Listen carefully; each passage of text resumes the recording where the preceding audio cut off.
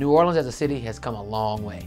We are a very resilient city. We know after Hurricane Katrina, we were in a really bad way. But right now, we have had a resurgence of young, talented people coming to this city in the healthcare field, and we are doing very well. We have a lot of clinics that are open, a lot of outreach, a lot of support. New Orleans has always been at the hub of public health.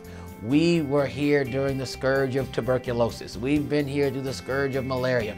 We are a very old city, but at the same time, we can't rest on our laurels to say that we've been around this whole time and have done great things as far as public health. We have a great public health facility here uh, uh, with our city health department. We also have great universities, Tulane University and LSU uh, Health Sciences Center. And so what we are looking towards now is to be able to recruit the best and brightest to those two institutions to be able to catapult us into not just being a great public health city, but to be the greatest city when it comes to public health.